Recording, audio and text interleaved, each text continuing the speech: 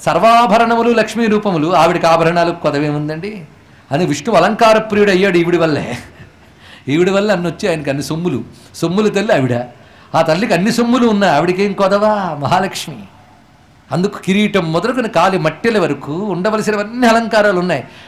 చిత్రం ఏంటంటే ఆ రోజు మాత్రం తలుపు తెరిచిన వెంటనే ముక్కెర కనిపించలేదు రండి నాసిక దగ్గర ఉన్న ముత్యాలు పొదిగిన ముక్కెర. చిట్ట చివరి ముత్యాలు ఉన్నాయి మిగిలింది సువర్ణంతో ఉంది. అలానే ముక్కరు పెట్టుకుంది ఆ తల్లి. ఆ ముక్కెర కనబడలేదు ఇప్పుడు. వెంటనే అర్చకులకు వణుకొచ్చిందిట. పైగా అందులో ఉన్న ప్రతి రత్నము చాలా విలువైన రత్నములు.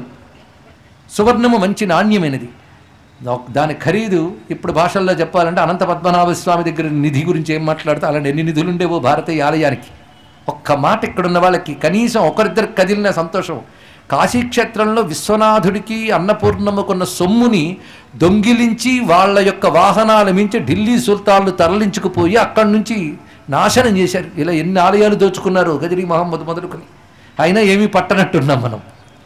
అంతదాకా ఎందుకండి? వాళ్ళు పరాయి పాలకులు. నేటి పాలకులు దోచుకుంటున్నటువంటి వాటి గురించి చెప్పడానికి ఏమున్నది? మన బుద్ధులు నమ్మవాళ్ళు మార్చాలి కనుక ఇది బాధపడాల్సిన అంశం అండి. హర్షించవలసింది కాదు. సరే మొత్తానికి అమ్మవారి సొమ్ములు ముక్కలు కనిపించట్లేదు. దానితో వేదన పడ్డారు. మొత్తం అర్చకులందరూ మొత్తం అర్చకులందరూ వణికిపోయారు.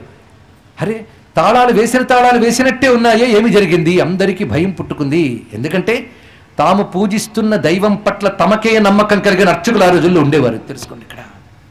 నేను ఎంత పూజ చేసినా మాకు ఆ దేవుడు ఏం చేస్తారని రోడ్లు పడేది పడేవాళ్ళు కారు అక్కడ. పద్ధతిగా అర్చన చేస్తూ భగవంతుని చూసుకుంటే ఆయన మనల్ని చూసుకోవడానికి ఇక్కడ.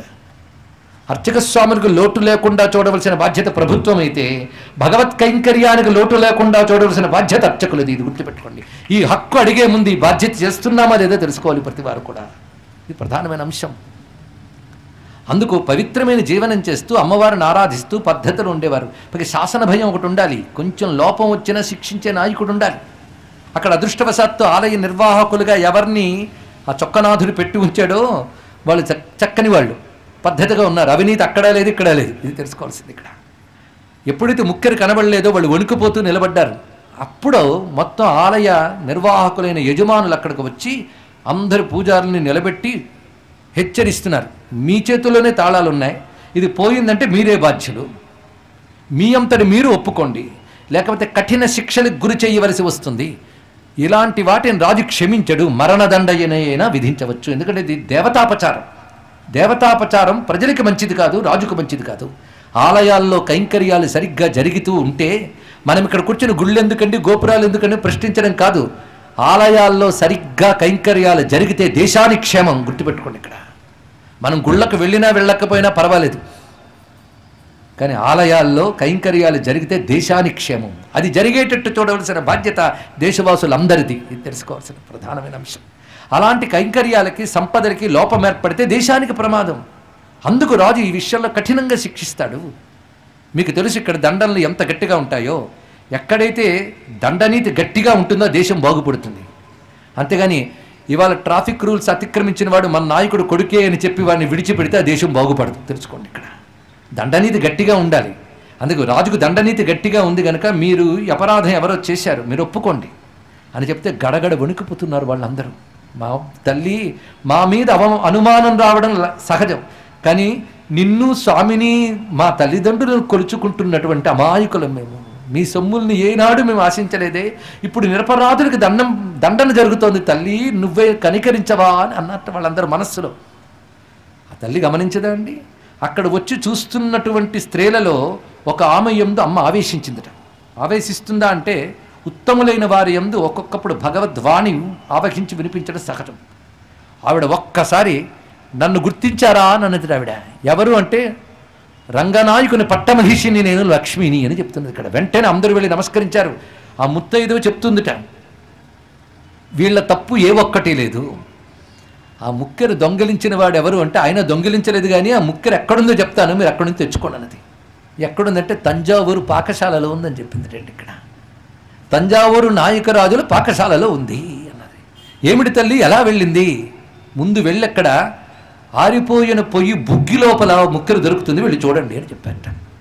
వెంటనే బయలుదేరి వచ్చారు అక్కడి నుంచి నియమింపబడినటువంటి కొందరు ప్రధానమైన వాళ్ళు. ఒక రాజుకు ఒక రాజు గౌరవం ఉంటుంది కనుక వాళ్ళంతా వాళ్ళు దూరిపే వెతకకుండా తిన్నగా విజయరాఘవ నాయకరాజుల వద్దకు వెళ్ళి స్వామి మమ్మల్ని మన్నించండి. శ్రీరంగం నుంచి రాజుగారు పంపగా మేము వచ్చాం ఒక చిన్న విన్నపము. అక్కడ అమ్మవారి ముక్కెరిపోయింది దానిని మీ వద్ద ఉంది కనుక తెలుసుకోవడానికి వచ్చామని ఇదేమిటి? ఆవిడ సొమ్ము నా దగ్గర ఉండడం ఏమిటి అంటే ఆ తల్లి అవహించి చెప్పినదయ్యా పాకశాల పొయ్యి బుగ్గెలో ముక్కెర ఉందిట చూడమని చెప్పినది. అనగానే తిన్నగా రాజు తనంత తాను బయలుదేరి వెళ్ళాడు ఆ- ఆ పాకశాలలోకి. అక్కడంతా ఆ బుగ్గి ఉన్నది పొయ్యి బుగ్గి. అక్కడికి వెళ్ళి తాను వెతికాడు. వెతికితే దొరికింది ముక్కెర. వెంటనే తీసుకుని చేతిలో పెట్టుకున్నట్ట. తల్లి రమ్యమైనటువంటి నీ నాసికయందు భాషించేటువంటి ముక్కెరిని నా క్షుద్రమైన హస్తంలో పెట్టుకున్నది క్షమించు తల్లి అన్నాడు ముందు. చెప్పి తన యొక్క బాష్పజలముతో ముందు అభిషేకం చేశాడు. ఇది ఎందుకంటే మహాలక్ష్మి వారి ముక్కెర. అసలు ఈ పాకాచార్యులు వండుతుంటే ముక్కెర ఎలా వచ్చింది? ఆరా తీశాడండి. ఆరా తీస్తే వాళ్ళు వణుకుతూ చెప్పారు కొద్ది రోజుల నుంచి ఒక పెద్ద ముత్తైదు వచ్చి ఇక్కడ వండుతోంది. ఆవిడ ఊదుతూ ఇక్కడ వండుతోంది. ఆవిడది ఇక్కడ పడిందేమో ఎందుకంటే ఆవిడ నాసిక్కి ఉండడం చూసాము అనగానే రంగనాయకులు ఆ ఆలయం నుంచి వచ్చిన వాళ్ళని అడిగాడు ఈయన వెంటనే. మీరేం చెప్పారు? మహాలక్ష్మి చెప్పిందని చెప్పారు. ఈ ముక్కరు ఆవిడిదిట. అంటే ఇక్కడికి వచ్చిన వండినది సాక్షాత్ మహాలక్ష్మి నా పాకశాలకు వచ్చి వండిందే. ఎంత ధన్యుణ్ణి. ఈ ముక్కెర ఆ తల్లిదా. అని వెంటనే ఆనందపరవశుడై దానికి పంచామృతాలతో పంచగవ్యములతో స్నానం చేయించి అభిషేకం చేసి అర్చన చేసిట్ట మహానుభావుడు. ఒక మాట అంటాడు తల్లి ఓ నాసాభరణమా? దానికి నమస్కారం. అమ్మ ఒక్కొక్క ఆభరణానికి ఒక్కొక్క నమస్కారం పెట్టాలండి. ఓ తల్లి నాసిక చేరిక చే మెరసే నీ ముక్కెరకును సన్నుతులమ్మ. నాసిక చేరిక చే మెరసే నీ ముక్కెర. ఆ ముక్కెరకు నమస్కారం తల్లి. ఓ తల్లి నాసాభరణమా? నువ్వు ఎంత అదృష్టవంతురాలివి. ప్రపంచానికి ఊపిరినిచ్చే అమ్మ ఊపిరి నీకు నిరంతరం తగులుతూ ఉంటుందే. ఎంత ధన్యురాలివి.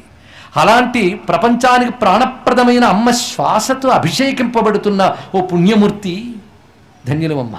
పైగా అమ్మవారి ఆ రెండు నాసికల నుంచి సూర్య చంద్ర శక్తులు ఇడా పింగళ నాడుల శక్తులుగా ప్రాణశక్తి ప్రవహిస్తూ ఉంటుంది. తద్రూపిణివు నువ్వు అని చెప్పి ఆ తల్లికి అర్చన చేసి ఒక పల్లకి ఏ తల్లికి? ముక్కెరికి ఒక పల్లకి ఏర్పాటు చేసి పల్లకిలో మెత్తని పరుపు పెట్టి ఆ పరుపు మీద పువ్వులు పెట్టి దానిపై ముక్కెరిని పెట్టి ఆ ముక్కెరికి ఆభరణాలు ఇచ్చేట ఎన్నో. కిరీటం మొదలుగుని చాలా ఆభరణాలు పెట్టి తాను ఊరేగిస్తూ ఒకవైపు తన ప్రధానులు ఊరేగిస్తూ మరొక వైపు పట్టుకుని మంగళవాద్యాలతో శ్రీరంగపట్టణానికి చేరుకున్నాడు. వెళ్ళి అక్కడ రంగనాయకైన అమ్మవారి వద్దకు అమ్మా అని ముక్కరు తెచ్చానమ్మా అని తీసుకొచ్చి సమర్పించేట అప్పుడు అక్కడ ఉన్న వాళ్ళందరూ ఆనందించారు. అమ్మవారికి అలంకారం పెట్టారు. ముక్కెర లేకపోయినా అందంగా ఉన్న అమ్మ ముక్కును ఎన్నాళ్ళు చూశారు? ఇప్పుడు ముక్కెరతో ఉన్న అమ్మ ముక్కును చూసి అమ్మ దివ్యమంగళ విగ్రహానికి నమస్కారం చేసుకున్నారు అక్కడ ఉన్న భక్తజనమంతా కూడా.